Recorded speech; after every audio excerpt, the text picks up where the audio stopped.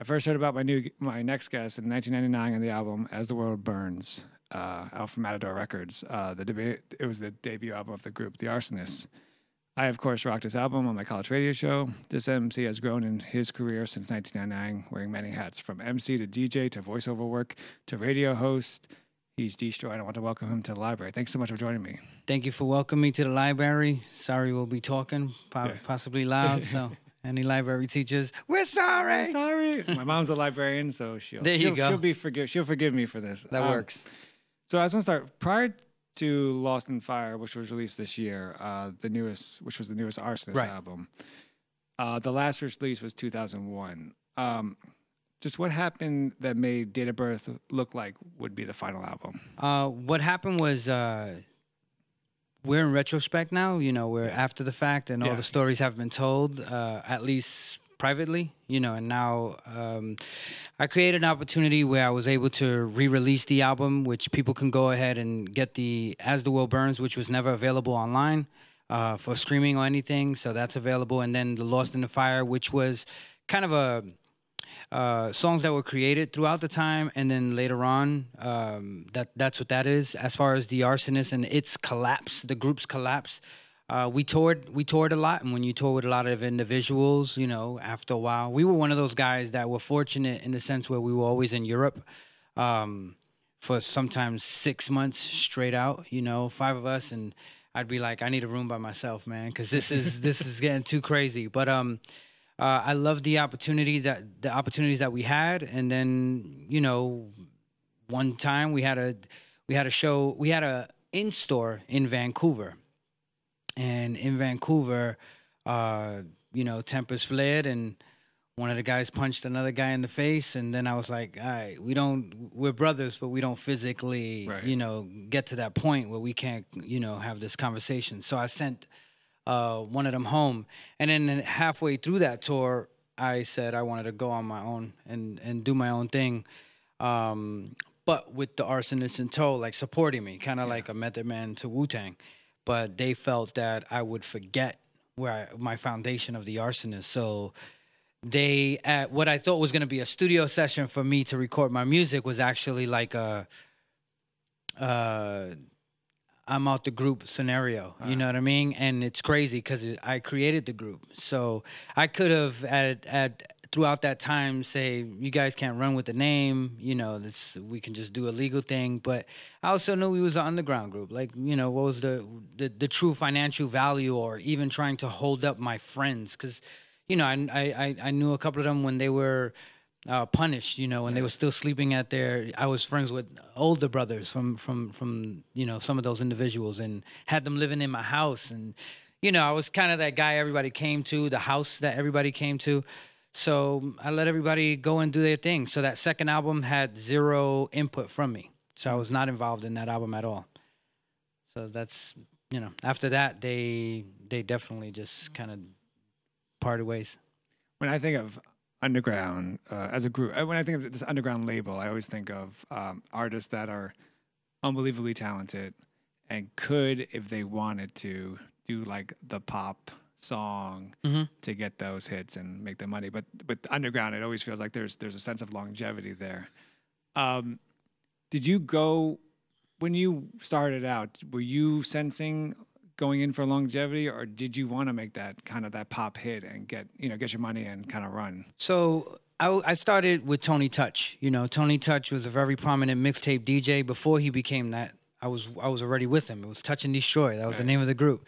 And um, you know, we were doing the New York clubs, whatever was like the cool stuff to be at. We were doing it. And when I say we, he would DJ. I would be on the the mic, getting the crowd hyped throughout the night. Um, and then we, you know, I seen him going through he had a lot of sacrifices in regards to with myself and him being a group. We were only able to put together nine songs in like five years of our relationship. And then the arsonist was you know one year we made a hundred songs.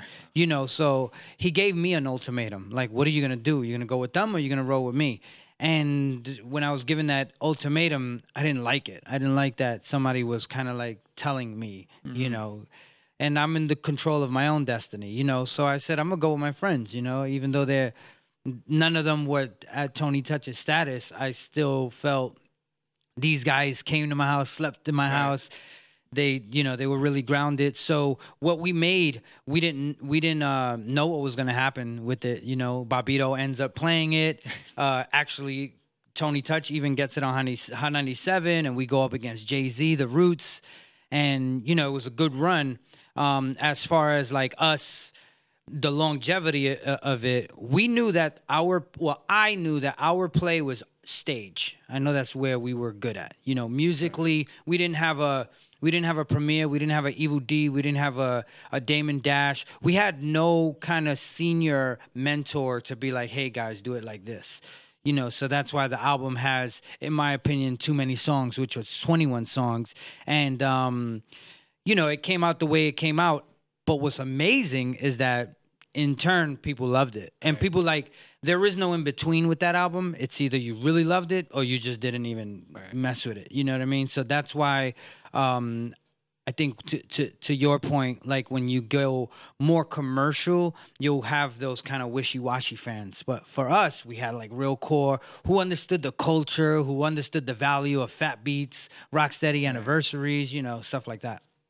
Um, in an interview prior to the release of yours, one of your solo albums, more than beats and rhymes, mm-hmm. uh, you said, "quote I'm an open cat. I'm not an MC. I'm, I don't rap. I'm an artist." Mm-hmm. Kind of looking at your body of work, what what make them for you personally works of art versus a work of an MC or just a rapper? So I came, I, I you know, we are we have so many influences, so, so many influences where I think artists box themselves in. Mm-hmm. You know, it's almost like a DJ at a club now thinking he has a program director he has to serve to. Right. You know, you just program yourself right. to have to be like, I have to get tattoos, I have to smoke weed, you know, I have to do all these things that I think that's what an art, uh, a, a quote unquote rapper is. Me, I was fortunate to be inspired from De La Soul to Onyx. You know, um, also in my neighborhood, I come from Bushwick before it was gentrified. So, some of the funniest people uh, were from the worst places. Mm-hmm. You know what I mean? And that's that that showed me a lot of things that I could also be a lot of things. You know, my my father was a police officer and my mother ran an underground casino. You know, without my father knowing this. So I had like the both worlds in one household, and then my brother would rob whoever really made a lot of money at my mother's casino. Mm. Um, so I was raised in that. So it wasn't so much that um, I cared about being one thing. I, I, I wrote poems. I, I, I, I, you know, later on in my career, you know, comedy. I got into that, and I started doing so many things that rapping and being an MC almost became restrictive, only because of how people looked at it. Right. When you you, you approach and listening to your body of work and just talking to you now, you you approach writing as a lyricist mm-hmm. versus a, a rapper. I mean, I think yeah. what are what are the two major differences? Um, unfortunately, we care too much about rapping. Um, we care too much about lyricism. Um, where I don't want to get to the what is it like now, but now it's almost like novelty right. to be dope, yeah. to be a lyricist. Like, yo, you see what Black Thought, yeah. you know, he did, and it's almost like where I'm looking at now. A lot of the, guys are spending more time on networking and building relationships and less time behind the lyricism of it. Um, as far as for me, I cared about it. I'm a son of uh, Lord Finesse, you know. Mm. I'm son of Kane, son of uh, all those all those people. So it was only true to my my lineage of those before me. Um, earlier I said that uh, prior to recording, I talked about how I played the arsonist on my what I called underground hip hop radio show. Mm-hmm. Uh, you know, and in my college, I was there was a commercial radio aspect of even though it was a college radio station, there was push to be more commercial. Uh huh. Um, was there ever a time that you or people you know were kind of quote unquote offended by the term underground MC? I mean, what does that mean? I was I was definitely offended uh, later on in my career. It was almost like saying that Big Pun was good for Latino rapper. Right. You know, right. where I, where I was like, ah, that guy's amazing throughout. You know, it yeah. doesn't matter. So. I was, uh, you know, a lot of people. I, I came up in clubs. I came up going to clubs. I became a quote unquote underground rapper only because of my associations, but I came up in very popular New York City clubs, meaning that I danced. So if Puffy came out with a hit, I danced to it. You know, I, I I wasn't like, oh, you know, I can't deal with that. You know, so and I kind of like to have fun. So if underground made people envi- uh, envi- uh, envision dirty tracks, train tracks in the dark. I wasn't I wasn't about that. I had a portion of my life that was like that, but I also knew that I like to have fun and and have a blast. It's funny when I started the underground hip hop show, I thought more about lyricism, and Mm-hmm. then you would meet people that'd be like, "Oh no, underground is grimy," and Yeah, stuff yeah, like that. And so it kind of blew my. I was like, "Oh, underground's a lot of things." Yeah, yeah, yeah. It's a it's it's a thing where people kind of get these um, kind of themes, Yeah. and then they they make it that you know, and and it just for me, I, I had a blast in the underground. You know, I've I've I've had a lot of fun. I've met a lot of cool people. I've never smoked weed in my life. I never got drunk in those in in in in, in that era at all. So anything you would think, I was just not that. But I was out there, and I'm still out there, and you know, that's that's what makes things great. You grew up. You mentioned you grew up in Bushwick, Correct. New York. Um, what was it for you, you? And you talked about it a little bit, but what was it like growing up there, and how did that experience think shape you as an artist? Uh, it was amazing. You know, I seen uh, my first murder uh, when I was when I lost my virginity. Um, a friend got shot. A police officer. She told me she wanted to console me, and so I met her by a church at 1 a.m. in Williamsburg, and then we talked. We talked. I cried, and then she took me to uh, to the basement of Moja Projects, and she took my virginity right there. Yeah. So, but um, I I, I end up uh, you know, all these crazy things in my life from everything I witnessed. You know, we've done a lot of bad things. You know, I've talked friends off the roofs as they held their babies, and and uh, I I got slices in my wrist. I got slices on my hands and my neck at a church. Um, you know, so life's been in- interesting Right. coming up, but I I know that that didn't define me. You know, I knew that there was more for me. Hey, I was born there. You don't get to choose, you know, how, how, how, where, or who's your parents and stuff like that. But I definitely everything I have now is all by design. How has Bushwick, for people who don't know, how has Bushwick changed? And People do know. People do know. I and I hope people do know. What I want to say is that um, the the everyone's everyone's taking an L. The people who were originally from there and the new quote unquote hipsters that are moving there. Everyone is getting taken advantage of. So you know, it's now a soulless land. You know, they've taken obviously the soul out, uh, which I believe was the soul. I mean, New York City is where hip hop came, where salsa came from. A lot of things came from here, but if you kind of, you know, marginalize it all and, you know, cookie cutter it all, it's gonna be gone, you know. Right. So that's how you have, you know, walls you can punch through, you know, sheetrock now. And back then, um, of course, it was it was harder, but you know, it was also made for people who are artists come and become artists. You know, they didn't have to. Go, oh my God, I got to pay my rent, and now I got to live with twenty people just to split this one rent. So yeah, Bushwick has changed immensely, like New York City, like San Francisco, Oakland, uh, L.A. It's definitely has changed. Um, I am just fortunate that I'm a kid of the crack era.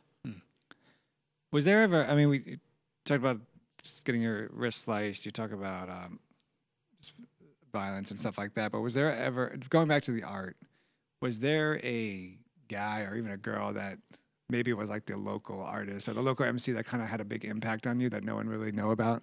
Um, no. Uh, oddly enough, what happened was uh, I fell in love with hip hop through Video Music Box and the radio. I was the kid who who would go with a VHS tape to school, and at lunch I'll play all these hot songs.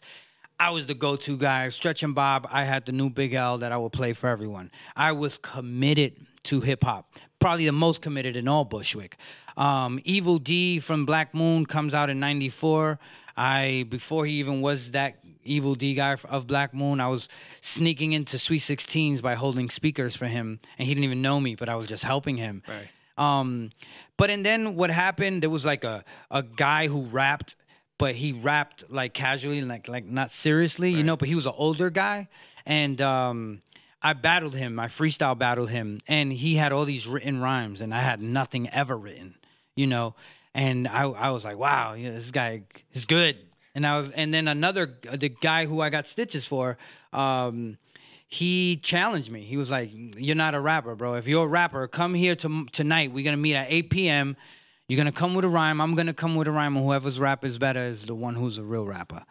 I showed up at 8 p.m. He had no rhyme, and that was my first Disco Dave is the dope shit out now. Knock you through the sky like a white cloud. Legit Lord Finesse's flow you know, and that was uh, that was it. That was the beginning for me. I met Tony Touch. Tony Touch was like, "Word, you know, you're good at what you do." He put me on a mixtape, uh, number nine, and from there on, me and him, I, I, I gained the confidence. I kind of already had my reputation in the neighborhood, so it just grew from there. Freestyling. Um, going into this interview, I watched a bunch of stuff. You you know videos mm-hmm. you you were freestyling. You did with Kane. Yep. You did with Serch. Mm-hmm. Uh, you didn't even do with Chris Rivers, Big yep. Pun's son. Um, what is it about the freestyle that kind of that you uh, enjoy? Uh, what I love not only that it's spontaneous, that anything can happen. So I came up from battling. Uh, fact, like in the village, when the village was the village and the cops would clear the streets, that was me in Washington Square Park on the train, always looking for a battle. After wetlands, after tramps, Nuyorican Cafe, I'll stand outside and I'll be down a battle. Mm-hmm. That was what was great about freestyling because you're always available for anything that was spontaneous. So if you said something and a guy jumps in and he says something almost snarky or almost like, whoa, whoa, whoa, was that at me? You just kill him on, on your opportunity, and now it's a thing. But that's what made it amazing, right. you know? Where did the hu- you're obviously very, you're very funny. Mm-hmm. Uh, where does that where does the humor aspect come in with your rhymes? So the humor comes from you know Andrew Dice Clay. My mother's a maniac. Um, you know, it's it's. I just like I said, when you see the most vivid shit in your life, you just learn how to turn it into something fun, I guess. Um, and then I just honed in on that. A lot of people say, "Yo, you're funny." I started. Uh, I started doing a lot of things just kind of going into that. I loved Pee Wee Herman, you know, Paul Reubens, uh, you know, of course, Eddie, and all these comedians and learning Mel Brooks went to my high school. I, I like took pride in that, right. you know what I mean? And, and just, I came up just kind of loving it and kind of, you know, quietly studying it. And then I became, you know, I started doing, I started dabbling and ended up getting a four year scholarship uh, through Amy Poehler to to write for her. So I was like, okay, this is a real thing then. How do you transition from yeah, how do you I mean how do you do how do you transition from writing I quote unquote funny rhymes, mm-hmm. I guess, to writing funny for an actor? So, you know, what it is is a lot of things is confidence. I tell you, Statik Selektah released an album that I was on, and all of, he asked me to be on it and um, I'm not a fan of just rhyming to rhyme. Right. You know, I, I don't want to rap just because I can rap. I want to rap because I'm I'm inspired to do right. it. You know what I mean? So he wanted me to be on his album. I didn't want to be on it, and he was like, "Come on, man, you're my friend. Why wouldn't you get on a?" You know, and I'm and I'm Statik. Like I, I I'm popular. Like why are you not? And um, I he played some songs he wanted me to be featured on, and I didn't want to do nothing with it. I didn't want to talk about anything aggressive. You know, like it's silly to me now. Like I know the guys who are rhyming. You know, I've seen them with their daughters at Discover right. Chuck E. Cheese or whatever. I'm like, come on, guys. But um, I had a song about me having to to take a shit.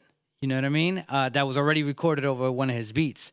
And this was originally a song I did back when I was 17 with Tony Touch. I just re, you know, re-recorded it yeah. over one of his beats and updated the lyrics a little something, and he put it on his album. And I was, I, I laughed. And what's so so funny is that inspired by De La Soul and Prince Paul, I made it a hidden track. I told him make it a hidden track because it's so odd, but also finding a hidden track to my era was like, wow, yeah. I'm telling no one. You know what I mean? But and then when people will find it and then they'll tell me, ah, like I almost felt like, oh, okay, this is a real hip hop head. That's how I kind of like was my own little nugget. But um, to transition to that into to on um, paper, you know, it's it's timing. You know, like I, I'm I'm I'm pretty cool with timing, and my jokes just kind of just come out. And then when I started looking at scenarios, of course, I've been through thousands of of, of great scenarios. Um, just retelling those stories, and then you're looking at something someone writes and you're like, man, how could I, you know, implement you know my my craziness to it. So there was a web series called East Willoughby that um, I was I I seen them make a post. It was about Bushwick and it was a comedy. So on Facebook, I was like, "How are you guys gonna do a web series about Bushwick and comedy and not involve me?" You know, I was Yeah. like very bold on Instagram like that. So they called me in for a meeting, and I didn't care to be on the show. I just wanted to see what it was about. You know what I mean? And then uh, the next week, they asked me to come in for an audition. Now I came into the audition, and uh, there was a couple of people online uh, auditioning as well. But when I went in, I knew a couple of people there already who knew of me. Okay. So they were like almost like, "This dude, you got him." So that made me very confident. I rewrote the script and I rememorized it the night before. So I went in with my lines, and I knew that's a disrespect to some directors. You know what I mean? But I also knew that it was a it was a web series, and it was about Bushwick. So, what are you guys paying me? This ain't no Will Smith production. You know. One time I did a I did a short film where where I kissed a girl, and I told my girlfriend, you know, I just want to let you know, you know, I, I kissed a girl in this film. And she was like, "You kissed a girl." I was like, "Yeah, you know, that's what actors do." And she's like, "Yeah, but are you getting Denzel Washington money?" you know, but th- that's just how it is. You just, Yeah. you just, I, I am, I'm, uh, I just like to have a blast. I know that there's a thousand reasons you can be upset or disappointed, even if you check on your own timeline. But I just try to be that kind of positivity that people could get into. I'm gonna go all over the place. Go here. for it, please. Um, and I think it's important to to mention that you're from the era that Fat Beats Records was important. You know, it was like an era. Yeah, that yeah, it was Beats significant. yeah. What was the importance of Fat Beats to your career? Yeah. So Fat Beats was very important because it was definitely like a church. It was a like it was also a museum, but it was a hangout. You know, when we released our first record, Tony Touch gave us he paid the studio session twelve hundred dollars D and D for our first single on Fondle 'Em, which Bobbito released, right? And when we had our when we had our in store for the first single, Tony Touch showed up for his money he was like, "Yo, when the fuck am I gonna get money?" You know, because he was like, "Yo, this shit is popping. Right. I'm sure you guys are making some money somewhere." And me, I was like, I'm still like his little dude. I was under his wing. You know, he was like an old G to me. And um, hearing him be that way with me, it was almost like, wait, what? You're like, you're my big brother. You shouldn't be. But I understand money is a different situation. It changes relationships. But fortunately for me, there was you know a bunch of guys in the arsonist and a manager that he could direct his attention to. So anyway, he gets into a fight, a fizz, a, a fist fight with one of the members of the arsonist in front of Fat Beats, and uh, we ended up breaking it up, and they they ended up squashing the beef, but just a significant of Fat Beats because the guy who ends up managing it, uh, Eclipse. Uh, was the when I became OC's hype man for his first album, Time's Up. He was the guy taking me everywhere because he used to work at Wild Pitch. So I had a relationship with him. And then Jab, the owner, his he lived on Morgan, which was in a L train stop that I lived on on in Bushwick. So we started seeing each other. I, I'd go up there if there was an album I didn't have. I'd go over there and get it. Um, Q Unique ends up working there. Ill Bill ends up working there. It was super significant because we did a lot of their first, you know, anniversary parties. Uh, the event we did when Big L died uh, in LA was for Fat Beats, and Big L died a week before, and there was like a big like, should we do this? You know, because it was Showbiz and AG was on the bill as well, and so was Big L, but he ends up passing, so we're kind of like in a weird place, but. We did the LA, we did the Atlanta Fat Beats. We went to the the Amsterdam Fat Beats. It was it was good. Fat Beats was a great thing for the culture.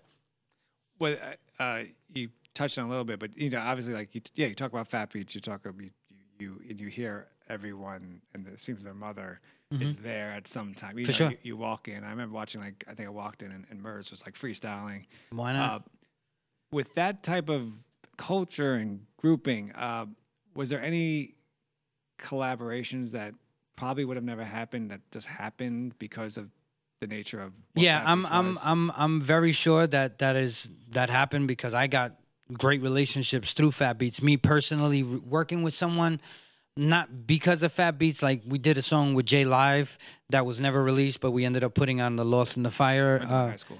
Yeah, Yeah. yeah. And then, um, but I knew all those guys. A Fat Beat, I mean, Non Phixion. You know, the relationship with Arsonist and Non Phixion. Like I said, Q and Ill Bill worked at Fat Beats. So we were doing a lot of bills together. We were doing, you know, songs. They did the 14 years of rap together, and uh, we did some other stuff that wasn't released. But Fat Beats was a great place uh, where Questlove told me he loved the session because of how dirty it sound. Um, you know, Kanye with freestyle there. Everybody, like you just said, it was a great place to be at. Uh, in in your video for your your track "Good," Mhm. uh, featuring uh, Q Unique, Right. um, two things that I noticed you do is you you have a video of the Rocksteady anniversary, Anniversary. and uh, Bushwick. Mhm. Uh, why? And you, you've obviously touched on Bushwick. But why have those two things in your video to represent the music Right. that you're doing? Uh, so a backstory. That was a song that Ghostface did uh, before before anything for a violinist that I worked with named Mary Benari. So I had a verse on it. So Ghostface ends up not doing anything with the song. So I gave this song to Q Unique, you know, and I gave him the song, the the, the files to the song. So I didn't know. He goes and he remixes it, and then he puts a, his own verse to it. And I was like, "Oh shit! This you just made a song out of nowhere." You know, he actually really did. So I, I commend him for that. And then um, I think I went on Craigslist and I offered somebody sixty dollars to film me and Q Unique. Um, you know, throughout Rocksteady anniversary, I was just trying to find environments that made sense to the song. Uh, Rocksteady, of course, you know, it's very culturally close to me. I've been involved since the 16th anniversary, and now we're at what 41, 41 years. And then um, Bushwick, that was the block I grew up on, so it made sense for me to take it to those places. When you think of Rocksteady Crew, you think of for me, it's they're great because they do a lot for hip hop culture, but they Right. also represent all four elements of the Right. culture.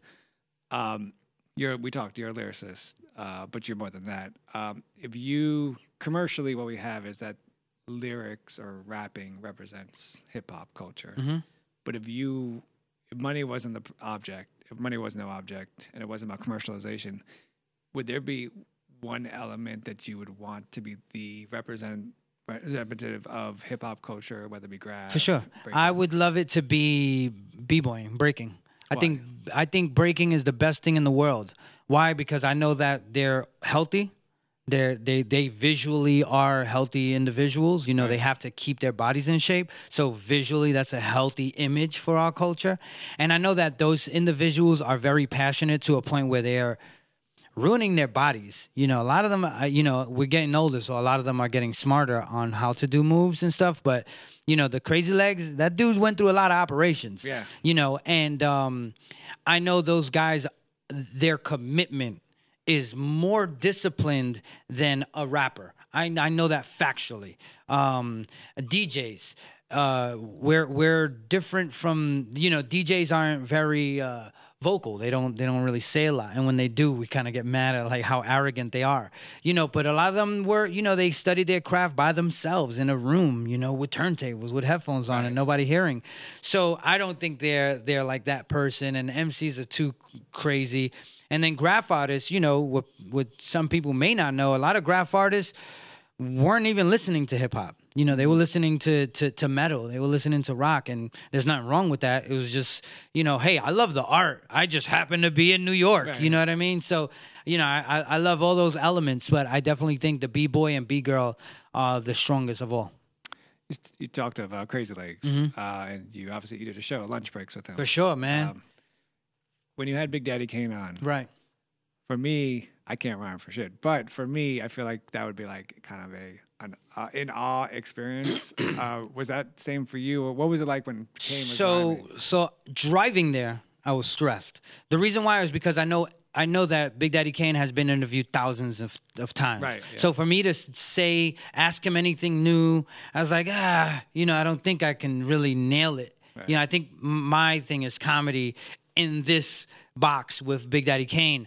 I thought about De La Soul when they dissed him. I thought about him fingering Madonna and, and having sex with Naomi Campbell. I think of all these real things that would have been real dope questions, but I'm sure somebody asked it. You know? So I'm like, man, what can I do with this guy that'll be different? And uh, what ends up happening, I kind of like just throw it away and I just live in the moment. You know, when he starts doing um, his his rendition, his verses to Crazy Legs trying to catch beats on the turntable, it was all a, a crazy. it was a zoo because you got a b boy who just started DJing last week, catching records, and a legendary MC right there, and you know the Robin Williams of rap, me just going crazy with Big Daddy Kane. But it was a it was a formula of amazingness, and I I cherish that moment. Was there ever a, a, a guest that you had on lunch breaks that kind of embodied everything you thought hip hop culture should represent? Um. Yeah. I mean, several. that We. I just want to let the people know if you ever hear this, I want to let you know. I think we were ahead of the curve. Right. I think we were ahead of the curve with lunch breaks. We don't even have a lot of footage. We don't even. Ha- we barely have any footage. That was because I knew that was a moment, and I told Legs, "Hey, how can I get that?" So I had to like figure out how to rip it. I streamed. I edited it all by myself. You know, I had to do all that. But we had over 120 guests. We did that show. Um, every like e- almost every day like every day of the week we were and i used to drive to new jersey to do it um everybody was amazing you know and and i'm not even saying that generically like shit we had dj premier where premier played the original version to 10 crack commandments uh, beats that Jeru the Damaja was on and there is no reference to that song. Now if you go to youtube there is where you can hear jeru's version of the 10 crack commandment with me yelling over it you know what i mean? Um but there was a lot of special moments in that but i think we were definitely ahead of the curve Uh, I asked you about hip hop culture, and we talked about, um, you know, you talked about breaking being important, but you've also you hosted Scratch Academy, the Yeah. DVD. Uh, what's the importance of the DJ for you in the culture? It's amazing. I mean, you know, the DJs. I I was fortunate to to be the X-Ecutioners tour MC. We toured with Eminem for six months. We did another Sobe tour with the Cool for another six months, and and the DJs. I've always loved the DJs because, like I said before, they're in their room. They're very focused. They're super disciplined. Um, they spent a lot of money on their vinyl. Um, they spent a lot of time with their vinyl, and to come up with those tricks, as you know, just real turntablists, bro, that's deep. You know what I mean? That's a difference between a, uh, you know, a, a graff artist and a tagger, or a MC and a rapper, or, you know, a DJ and a turntablist, and and you just have all those you know divisions some people do it because it's just cool to do and some people really freaking do it you know and those are that's the reason what what made me so attracted to that um you know that element Talked about your humor, Mhm. and you know, you did write for comedy, but you also, I mean, watching you and Kane, I was dying laughing, partly because I was like, he's not going to make Kane laugh, and, Yeah, and- right yeah, and that was my goal to And- make kane laugh and he, continue and he, but he kept on going, which Right. is kind of like Mhm. incredible to watch. So I want to ask, end this interview with some random ass questions. go for The First thing that comes to mind: favorite farm animal. favorite farm animal man i like a lo- i want to punch a horse actually it's not in the farm but a raccoon i would love to hug a raccoon i know they're in new york somewhere and they're not in farms really but i definitely love to punch a horse Favorite part of being in a group. Favorite part of being solo. Favorite part of being solo is uh, actually I'll tell you what my, not my least favorite part of being a solo is you have to muster your your you have to inspire yourself. Uh, being in a group is good because I come from a team environment. Favorite part of voiceover work. Voiceover work, it's so fun. I did I did a video game for Rockstar Games, and the character I was was a big uh, Mexican gangbanger with a with with tattoos all over his face, and my accents and all everything. I did, just to play the game and he, hear my voice to that that body. it was he was like a big obese guy, like a kingpin like guy. Um, I love it because it's it's any image that the director or producers can can can create. You mentioned it, but favorite New York City animal. A favorite New York City animal, squirrel. What? Squirrel. The reason why squirrel because I know squirrels have seen murders. Squirrels are everywhere. I know have squirrels have seen everything. They are still out here while you're out there doing negative stuff and you don't want people to snitch. If squirrels could talk, a lot of you guys will be in jail. Um, yeah, so squirrels. You know, evidence from Dilated Peoples is a huge squirrel fan too. Yeah, yeah, yeah. I was uh we had a crew called the Squirrel Gang. Yeah. Logo and everything. Uh, you're probably gonna. Uh, I probably know the answer to this, but best New York City neighborhood. Best New York City neighborhood. Oh man, I'm I'm gonna say Washington Heights because I grew up there. right, and and I guess I would I wouldn't say Bushwick. You know, it would only be it'd be biased because it's me. Gotta right, yeah, but I'll say the village, the village, because everybody came there, and you'd see like, where you from? I'm from the Bronx, Right. and then you see different styles, and you you know. So I think the Ville back in the you know there was a shelter there. I remember the girl who sold drugs. She wanted me to be a boyfriend. She gave me a ring. i, I, I never kissed her. I was like her bitch. It was amazing. Uh, favorite sound effect in a hip hop beat. Favorite sound effect in a hip hop beat. I liked all Elektra Records clean versions because it seems like whoever the engineer was on the Das EFX, Busta Rhymes, uh, Missy Elliott records, they put so many different sound effects that I almost felt like the clean versions were art in itself. And every CD in my collection is clean. I think because you're a New Yorker, I think New Yorkers do this because I do this. And Okay. my wife thinks I'm gonna be a crazy old man Uh-huh. because I'm already doing it. For sure. But have you ever had a moment where someone is an asshole to you, but and you thought about it, but then you kind of ten sec, five seconds later, you realize you're saying it out loud. Yeah, I unfortunately I think I say it out loud first, you know, and uh, then my lady would tell me, you know, your daughter's right here. What was wrong with you? Um, but I also, you know, unfortunately we're New Yorkers in that way, you know. But I'm very fortunate that I was able to travel throughout the world and I got to see how other people kind of communicate with each other. And I know a lot of the stuff that I learned wasn't necessary. and right. sometimes that shit brings its own energy that you're like, wait, I didn't expect it to go there, but it, you know that's how it is when people when people in the midwest or somewhere else might see a video of a fight and you're like how did it go from there to there you know that that was just how and that is how new york is we like fast forward to the end like beef like let's get what you want to fight or just swing you know that's just how it is The what is there a go-to record that when you just want to get away that you put in your yeah um tape? You know, Yeah, yeah. I listen to. Uh, I actually, I I I recently went on a long drive and just listened to '80s rock music. You know, actually, um, Stone Temple Pilots have a song called "Plush" that I love, um, and there's just a lot of other stuff um, musically that I enjoy. I collect vinyl. So I'm one of those like I could listen to a random record that I don't even know who the hell it is. I'll play it and I'm like, wow, this is so interesting. I could envision it, and um, just you know, working working and and doing what I do, I almost have to be that. Right. You know, because I just finished doing a, a a major league baseball event where they were like, "Hey, could you recommend some songs?" And I set up their whole vibe, you know, that night. And then uh, for the NBA, same thing. Like, "Hey, what do you recommend?" And all my stuff is clean anyway, so. You know, I've just been. I, I, I, I'm, I'm definitely a music guy. What's next for you? Um, next for me, I'll be doing uh, an uh, an event in Vegas that I can't really speak of, but I'll be doing my sixth Super Bowl, um, my thirteenth uh, NBA All Star game. Um, I'll be doing the the E. It's called the Esports League, uh, where video games are a thing now, uh, have been a thing, but now they created leagues for each sport. So I'm the host, you know, for for Twitch as well.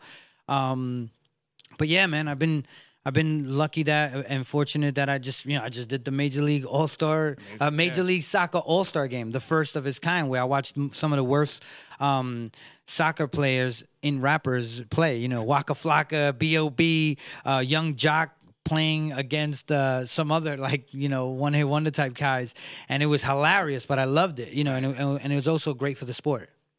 So you a soccer fan? Um, yeah, I'm I'm a soccer fan. I'm a everything fan pretty much, but I'm a soccer fan mainly because I think New York uh, Americans are so much on their own shit. They don't understand the power of yeah. soccer outside of America. So I'm almost like, all right, you guys keep thinking that whatever you're doing is bigger than what's happening outside of America. LeBron made how much money? Do you know how much this guy right, made? yeah. You know, so it almost becomes a thing where Americans are just so much in their bubble that I just love to kind of kind of be a troll too amongst my own homies, you know, who thinks, you know, anything is dope. I just like to challenge it. Uh, he's D-Stroy. Yes. Uh, incredible artist. Uh-huh. Uh, been listening to you since 1999. Awesome.